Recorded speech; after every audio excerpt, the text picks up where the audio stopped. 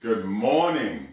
I'm glad to be able to come before you this morning because God is good and He's worthy to be praised. I thank God for this great day, this blessed day, that we serve a great God. And I thank God for that because God is worthy of all the praise and the honor. Let's open up in prayer. Father God, as I come before you and this great people, as I humble myself to you, that your will be done, not just today, but every day, every second, every moment that we give you the praise and the honor. As I humble myself before you and before this people, dear Lord, speak to me as I have taken time out to pray, to study your word.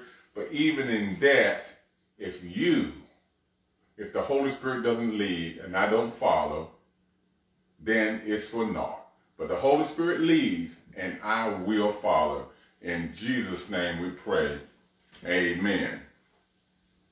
And I always like to say this. Good morning, good morning, good morning. It's a great day to be alive, and I thank God for it. It is a good day if it was night, if it was noonday, in the evening, it is a great day to be alive. I remember as a kid, and you all know I'm country from North Carolina, and I remember we used to play King of the Hill. And sometimes we will be on a little mound of dirt, and you'll be that king.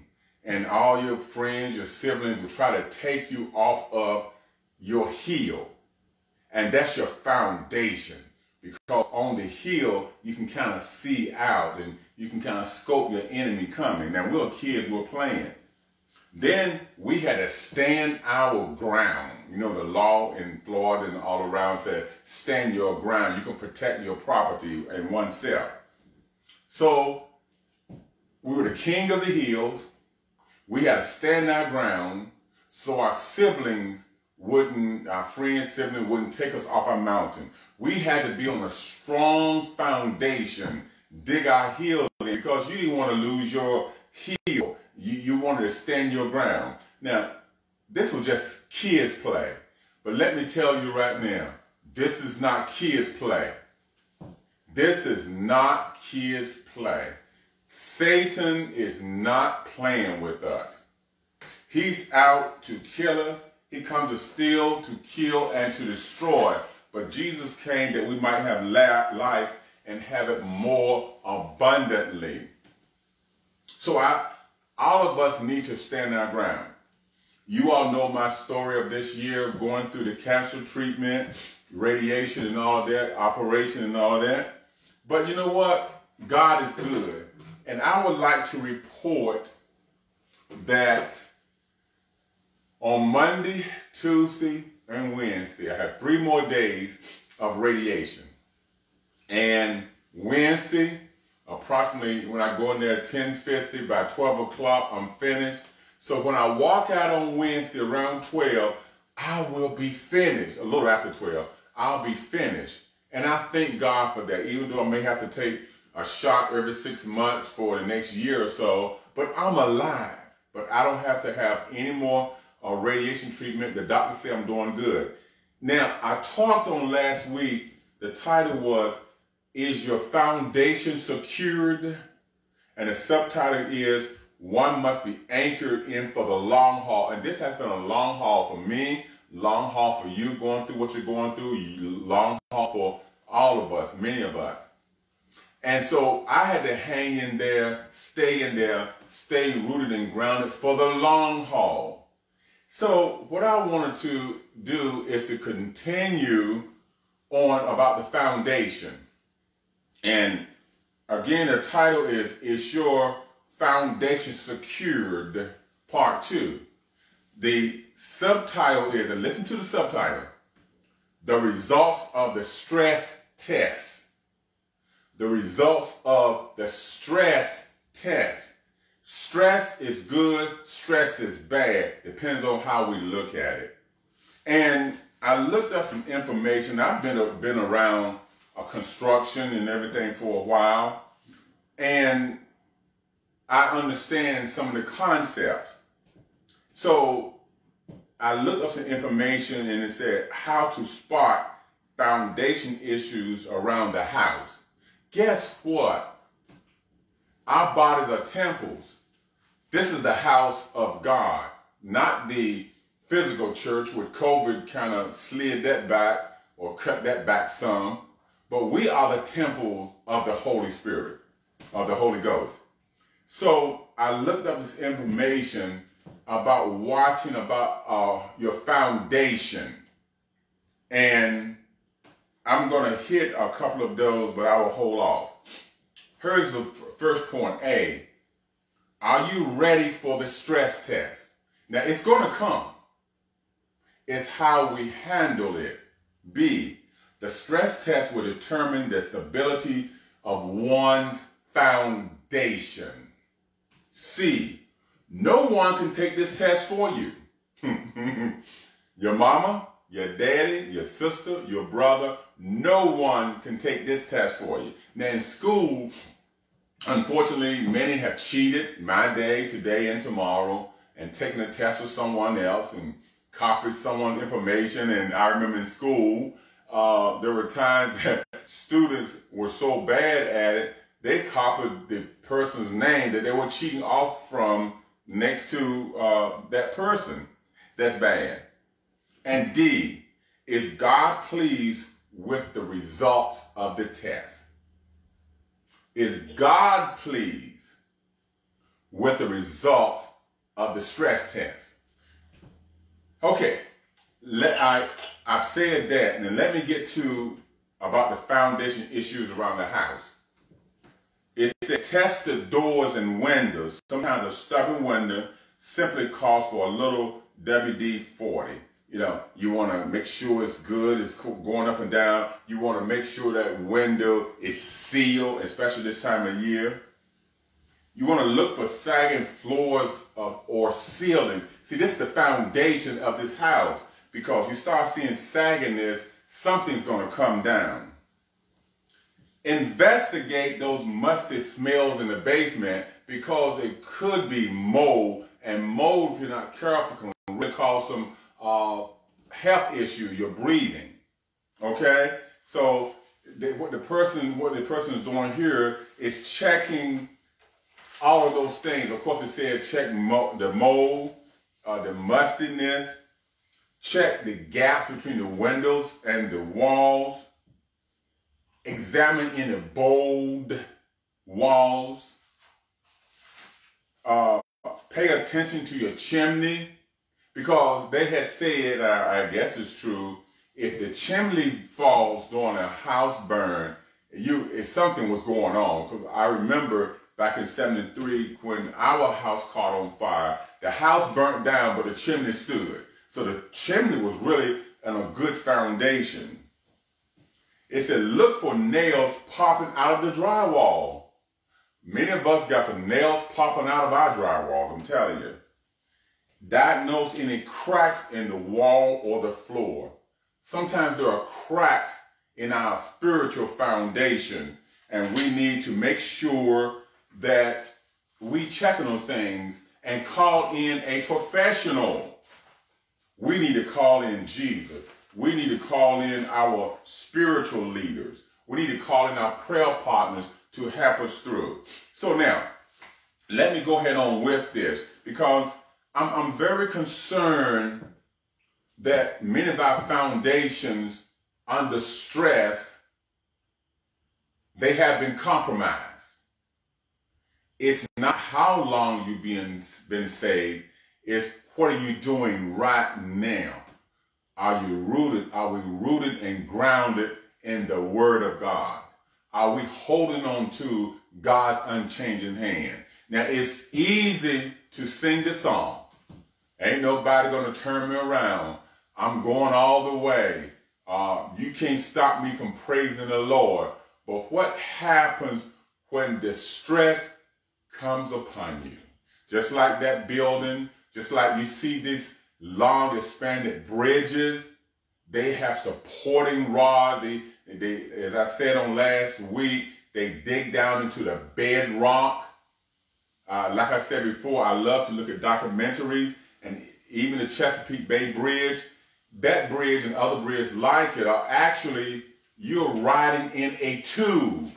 They actually put these tubes and sink it, put it in bedrock, support it, ground it, and they keep connecting the tubes. Of course, the tubes have two closed ends, then they'll pop out one end and stick it to the other and weld it together. I don't know all the intricate details, but you're actually riding in a big, I don't know, if they were 80 feet long by 40 or something like that wide. Uh, I don't know for sure. But you're actually driving a tube, but the foundation had to be secured. Then not only that, they had to put certain stress tests on buildings, foundation, bridges, tunnels. It has to pass the stress test. If it doesn't pass the stress test, then the owner, whether it's the state or the individual, whatever, whatever, won't accept it, and then you won't get paid for the work or for the total work you've done. You won't get paid for all of it. So it has to pass the stress test. Are we passing the stress test? Are we pleasing to God? Is God pleased with our efforts? Turn to Galatians, the fifth chapter, verses 22 through 23. And these are some of the instruments. Uh, the point is, instruments used in testing our building foundation. See, we are the buildings. And it's love, joy, peace, long suffering. Let me actually turn to it. Galatians, the fifth chapter.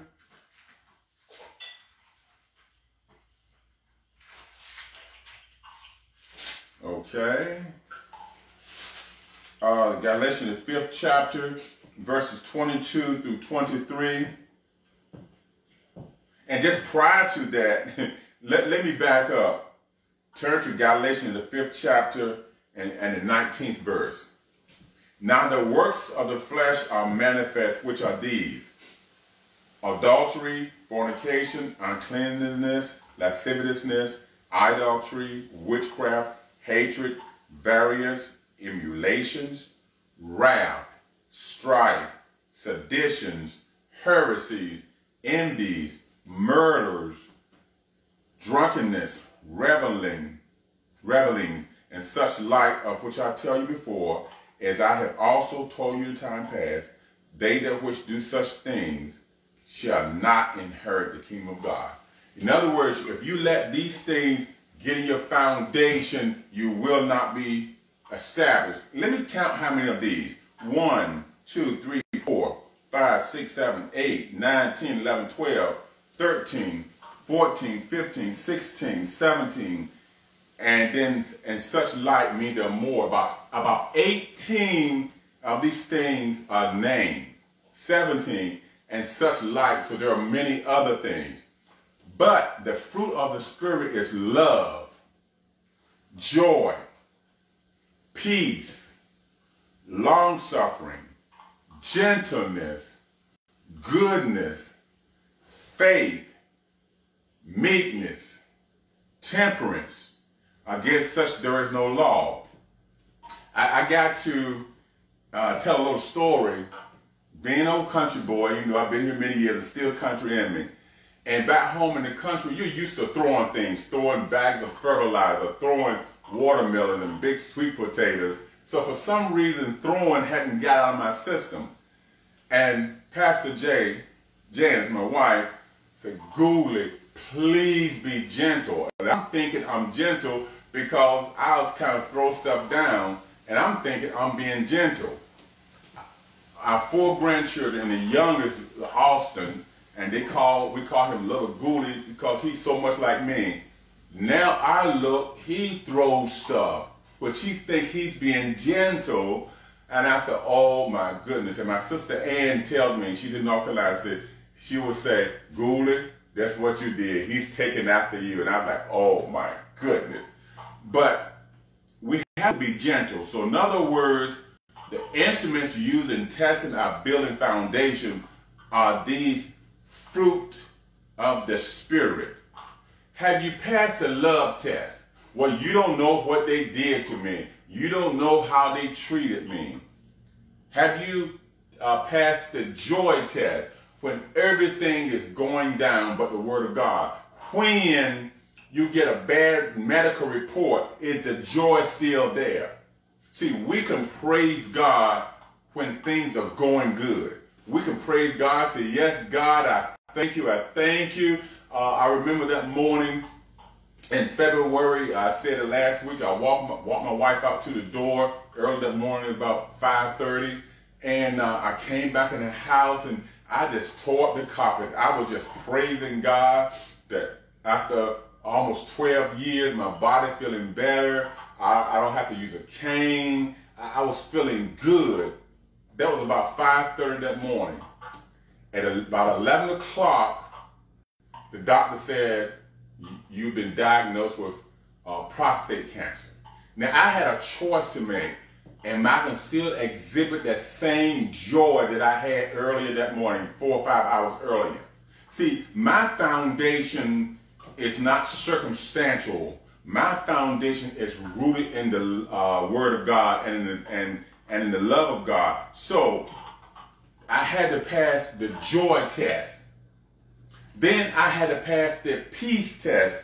I'm at peace, God, whatever your will is. And I must admit, there was a moment some fears knocked on the door. And like, you're going to die. So I decided to tell Satan, guess what?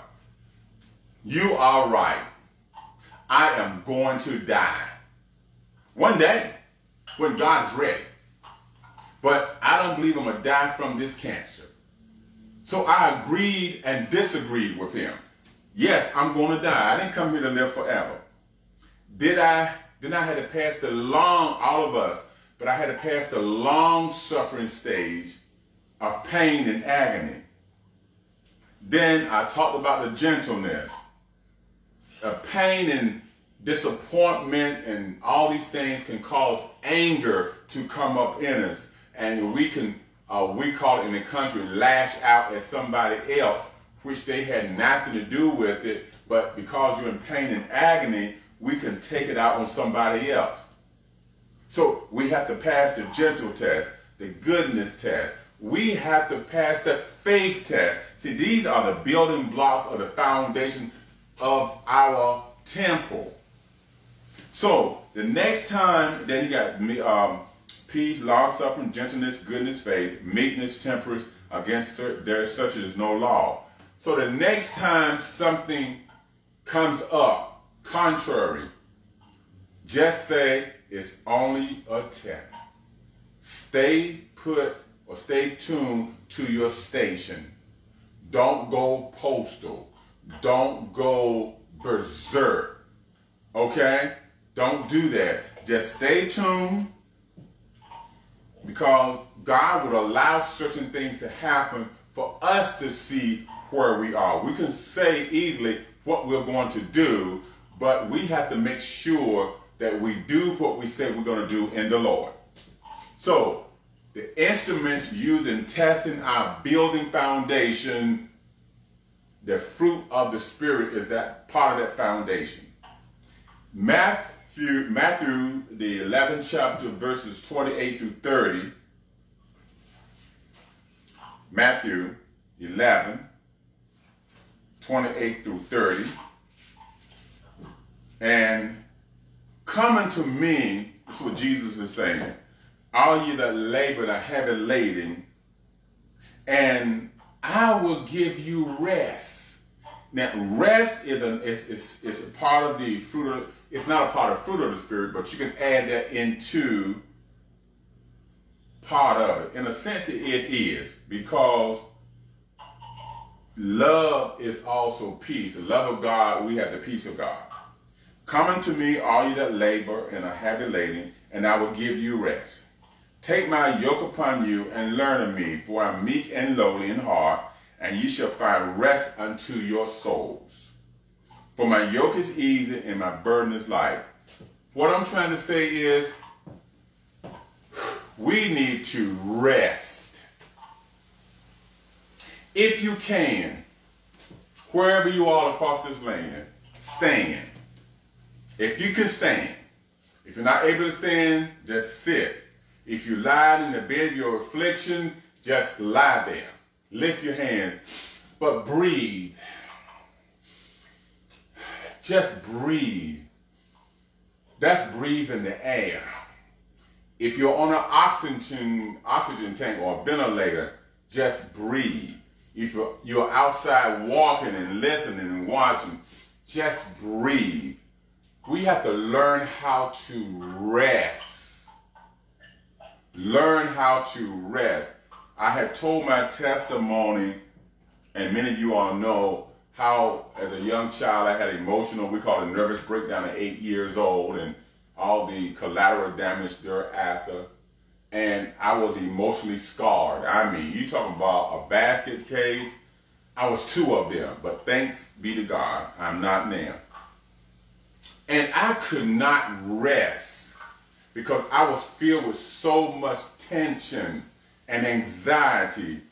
Actually, I didn't use my nasal area, my nose, to actually breathe because the tension was so bad I kept getting migraine headaches, which the pain would shoot through my eyes and burn the back of my head. I was always dizzy. I was always irritated. I was always in pain because of some inherited things, some environmental things, and I could not rest. It was hard to sleep. It was hard to rest. But I had to learn rest. I will be sitting as an adult, as a married, a father, uh, with my wife and my children, and we will all sit around. I'm telling this as a testimony because some of you, um, some of you, but especially fathers, may, might be going through this. I will be sitting down, we'll be just resting, looking at TV.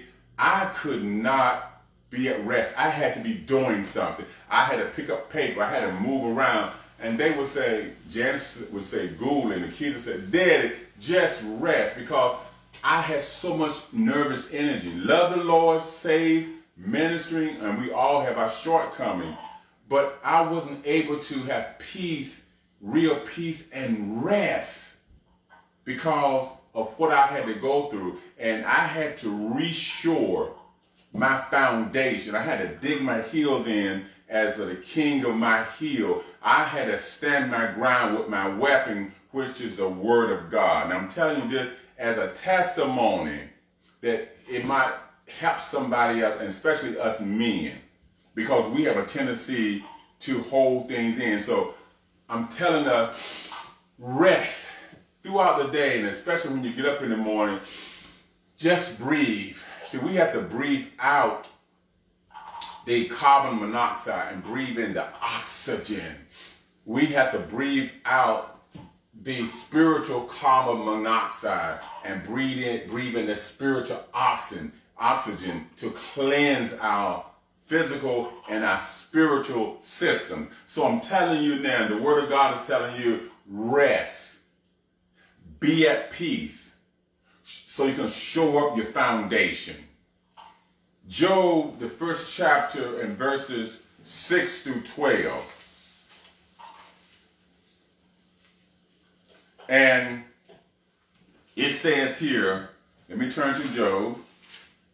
And I, and I love Job, and I constantly read Job because it encourages me to continue to trust God even through difficult times. So let me get here. Job, the sixth chapter. This page is so thin, I'm sorry. Okay.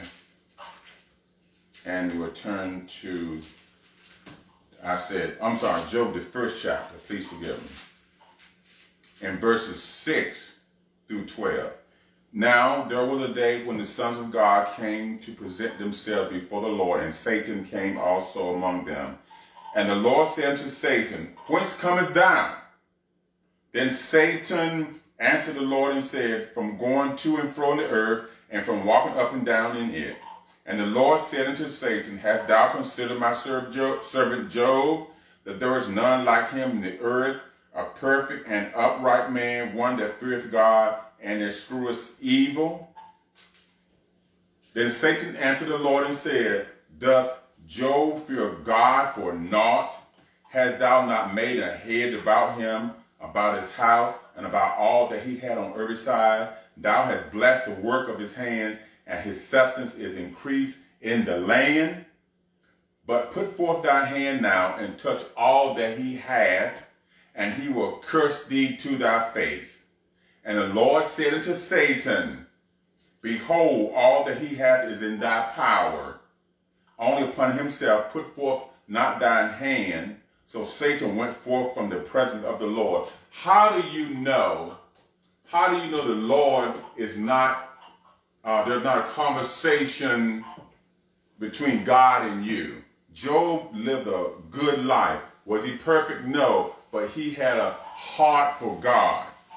Okay? And so there was a conversation. So the Lord said, don't, no, don't take his life, but go ahead on. See, Job had to, had a solid, he had a solid and secure foundation in God. Job went through some tough things.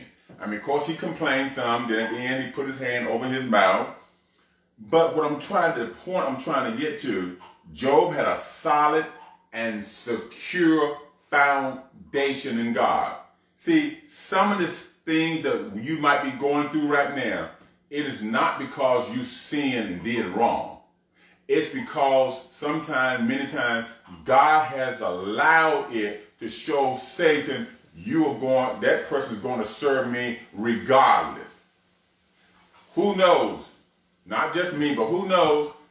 All I've been through personally in my health in the last few years, how do I know or not know that there wasn't a conversation? I mean, overcoming the two-story fall, spent almost 11, well, 11 years and about three months recuperating, then start feeling good, then bam, cancer. But the main thing is, see, I had to have a solid foundation and it didn't happen overnight. It doesn't happen overnight. We have to continually study the Word of God. We have to continually seek God, pray, continue to do these things so when the trials come, not if, when the trials come, we can stand our ground. Not with our AK-47, not with a machine gun, whatever the, the ammunition is, not with TNT, dynamite, whatever, our sword, whatever. But we have to have the Word of God to be our foundation. Okay? First Corinthians, the sixth chapter, verses 19 through 20. And the point is, our bodies or temples are not our own. We should look in the mirror sometimes and tell ourselves, I'm not my own. I belong to God. Yes, this flesh is decaying, it's going to rot, it stinks. But guess what? My spirit, I have the spirit of God.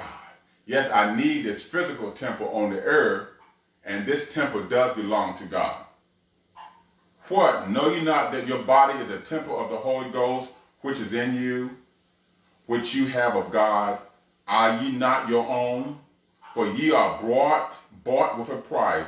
Therefore glorify God in your body and in your spirit, which are God. So whatever we're going through, see, we need to take care of our bodies, our physical bodies, as much as possible, because with a healthier body, I can serve God better. Even if our bodies are compromised in our health, we still must serve God. Okay? But the point is, I don't own this. I don't own Gooley. I really don't own my boots that I have on. I don't own the clothes that I have on. They actually belong to God. This body belongs to God. This bald head here belongs to God. So therefore, I must take care of this temple spiritually and physically and make sure I'm rooted and grounded in the Word of God. I want to say this. Don't let anyone knock you off your heel. What I was talking about being the king of the hill, standing your ground, don't allow yourself, Satan, your daddy, your mama, your bosses, your, your employees, your associate workers, your so associates, community, whatever, corona, cancer, diabetes, don't allow any entity to take you off of your mountain, to remove you from your foundation. Don't allow any of these things remove you from your foundation in, in God. Come hell or high water, be like Job. Hold on to your integrity in the Lord. If someone's trying to tell you, or yourself, your flesh is telling you to cheat, to lie, uh, don't do it. Hold on to your godly integrity in the Lord. And guess what? Job, as they say, as they say and have said, he got double for his trouble. See, Job's own wife said, Job, come here, boy. Come here. Now, how long you going to take this crap? How long you going to keep trusting that God you're talking about? Look at what he has done to you. He took our children. You know how a mother is about her children. Come on now. But he said, you talk like a foolish woman. Uh-uh. Though he may slay me, I'm going to trust him. In other words, though he may allow, and he has allowed, and I'm telling us now, though he may slay us, or better put, allow us to go through what we're going through, I will yet praise him. I will not turn my back on God. I will not turn my back on God. I will trust him because my foundation is in him.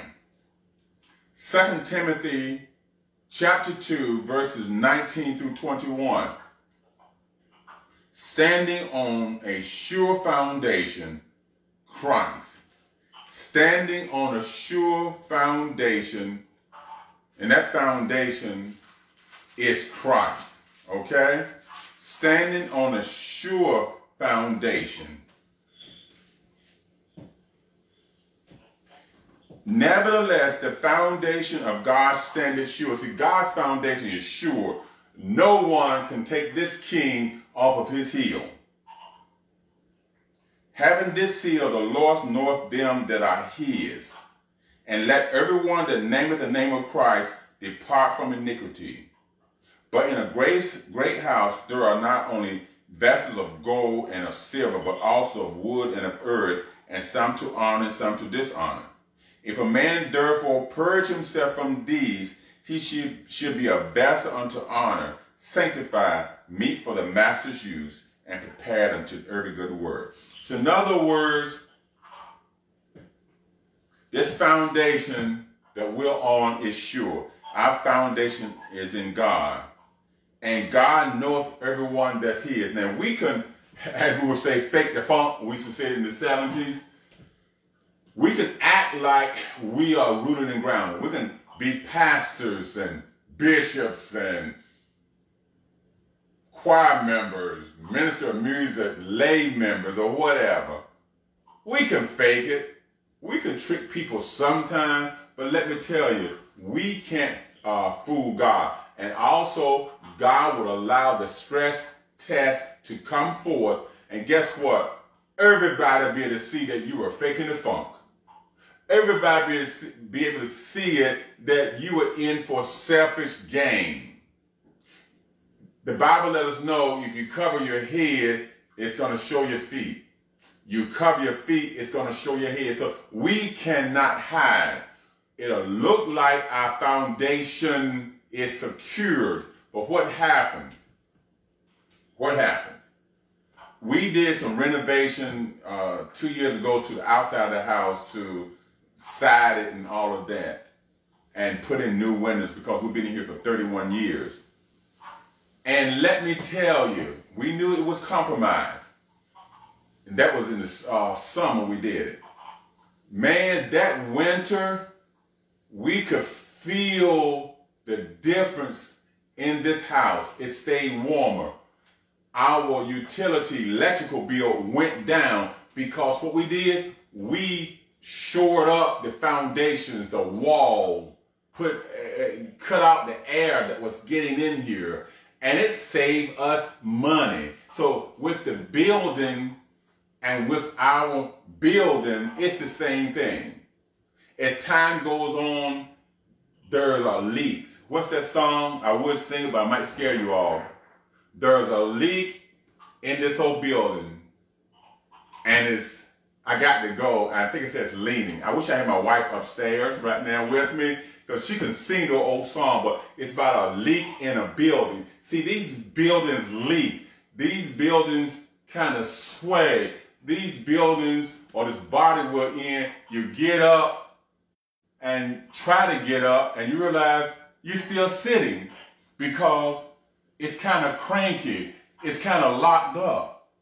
But then we got to get out on the floor We've got to exercise. I mean, last evening, I did my exercises. I did my push-ups, my sit-ups, my stretches. And thank God this old boy can still get out there and still do push-ups, still do the jumping jacks, and still do those things. Not as fast, not as quick, but I still do it because what happens? If I don't exercise, and especially what my body has been through in the last 12 years, I wouldn't be able to walk. Yes, I had the faith that I'm healed, but I had to put some action, some exercise to this building to keep those buildings going.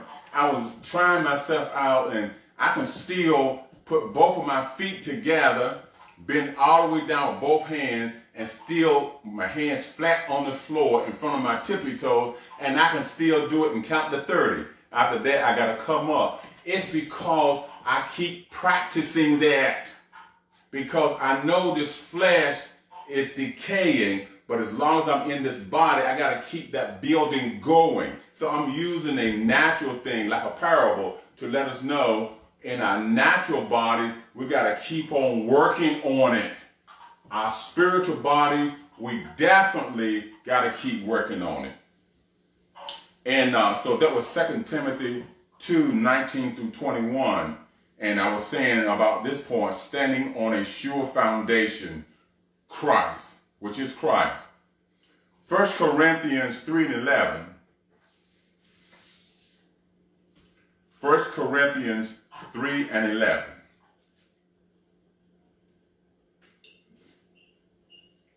For other foundation can no man lay than is laid, which is Christ Jesus. There is no other true solid foundation, but that is of Christ. You can try every other foundation. You can try money, exercise, food, family, fame, work, whatever it might be. You can try those things, but the only foundation that is laid and the real true foundation is that which is in Christ. Now, my final verse. Go to Psalms 18 and 2. And this is part of our, our church foundational scripture, really. Okay? It says here, and I, for the point is, he's my rock and fortress. Jesus is. He's my rock and fortress. And it reads, the Lord is my rock, my fortress, my deliverer, my God, my strength. See, the Lord is my rock, my fortress, my deliverer, my God, my strength, in whom I will trust, my buckler and the horn of my, my salvation and my high tower. So God is my all and all. God is my everything. In order for me to pass the stress test, he has to be my foundation. He has to be my all in all. So in my at this point, I just want to, us to make sure that our foundation, and the question is, is your foundation is secured, which is part two. The results of the stress test, they use so many types of instruments in the building industry. Uh, they use tests for um, tuning a piano, and I saw someone do it years ago. They had this little piece of metal, like a horseshoe almost, a curve, and they did something to it, which I don't understand. But there are stress tests in uh, that part or a test to tune it. There are stress tests and when they, um, for automobiles, they put them on the computer. They, uh, when you go to the doctor, and I did that after the uh, back injury, they put me on a machine and I had to um, do certain things and it wore me out. They want to see how my heart was doing, how my blood pressure. So it was actually called a stress test.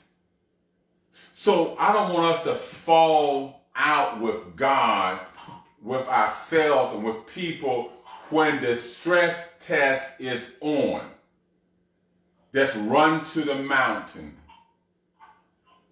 for he is able. Run to the mountain, he is stable. I will lift up my eyes unto the hills from whence cometh my help. My help cometh from the Lord, which made heaven and earth. Let me tell you all, like you, I would not have been able to stand if today, this year, at this time, if my foundation wasn't secured in the Lord. And I constantly check myself. I even ask the Lord or ask myself, Gooley, are you really saved? Gooley, are you really trusting the Lord? You say, you ask yourself that, Pastor? You're a pastor. Forget the title. I've got to check me. I've got to check my foundation because how can I leave others if my foundation is not secured. So regardless of your position, take off the title, take off the robe, take off the chain, become naked before the Lord and before yourself. Look yourself in the mirror and ask yourself, am I secured? If I'm secured in the Lord, if I'm secured in the Lord? Am I really secured in the Lord? Is my foundation secured in the Lord? I will trust, I will trust in him. I will trust in the Lord. I will make sure that my foundation is secure. So on today, check yourself. Look at the man. Look at the woman in the mirror. Look at yourself and make sure you are rooted and grounded in the Lord. And I thank God on today because we all we all got to make sure that we're rooted and grounded. Because if not, when the test comes, and it will, when the test come, we are going to know if we are really rooted and grounded.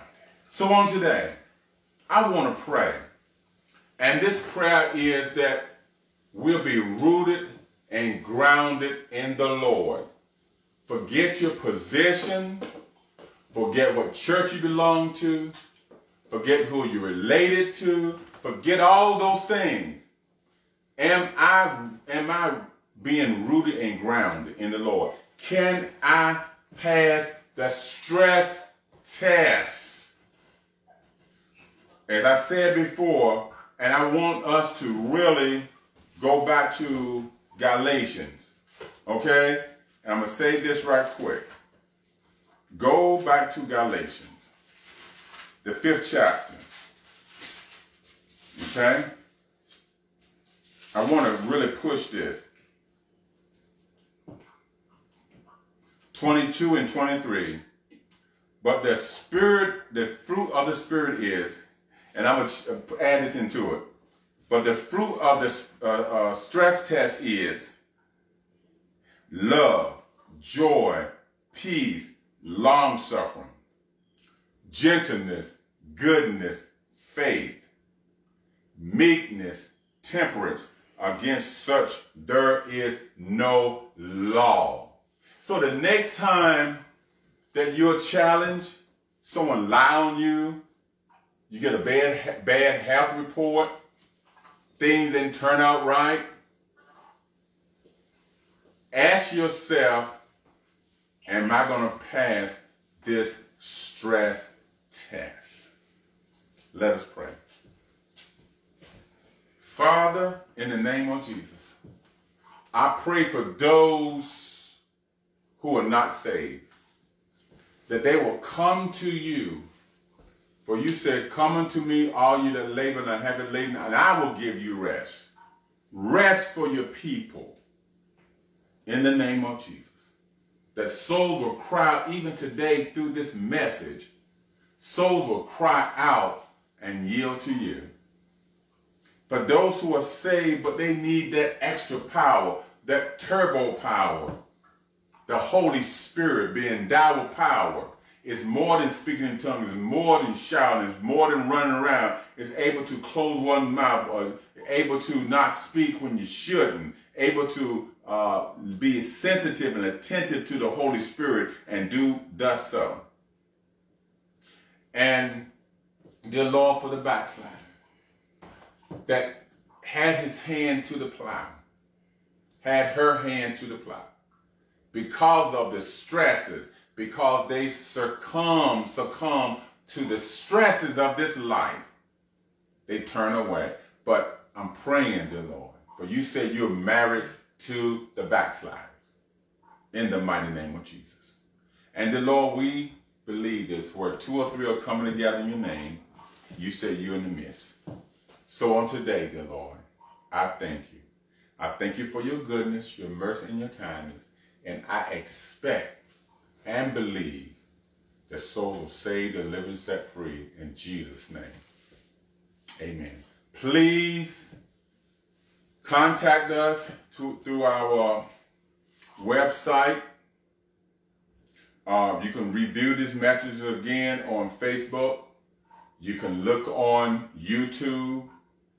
On the websites, uh, there are phone numbers. You can contact us. Please do. But I, um, we'll be waiting for your call. Please call us. Check us out. And I want to say this as I close. I know here in Virginia, the governor set out certain mandates yesterday because people are, are not taking this virus seriously a lot of times. It's real. It's real. We got faith as believers, but God don't want us to be foolish. Timothy, uh, uh, uh, in Timothy, or in James, it said, if you lack wisdom, ask God for it. He won't withhold it. Let's use our spiritual sense and also use some common sense. But let me tell you this. Coronavirus, COVID-19, Satan has not stopped the gospel. Churches have been limited like other places as far as the capacity level, but the gospel actually has spread even greater. So I don't want us to be uh, disillusioned. I don't want us to be lose hope. I don't want us to lose faith in God. I want us to trust God through this these time, trying times. And this shall pass. But guess what? Even if this is this this does not pass. Let's say this virus never ends. My foundation is so secured in the Lord, I know I got a better home. So thank you for allowing me to come and us to come before you on today. And please, during this week, enjoy each moment intentionally. So until the next time, have a great day. Thank you very much.